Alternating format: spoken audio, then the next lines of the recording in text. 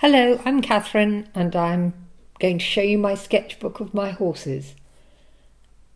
Some are finished drawings and some are just sketchy that I've done on site while I've been watching the horses and of course they move very quickly so I have to scribble them down quite fast. I think it's a good idea to take a sketchbook and draw anything you see. Quite like to get the different positions of horses.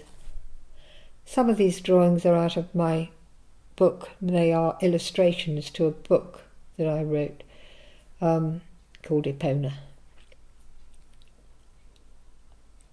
And this is Epona as a foal. These, most of the drawings are in pencil. There are a few in ink, I think. This is an ink drawing. So please come and have a look at my channel on YouTube. Bye.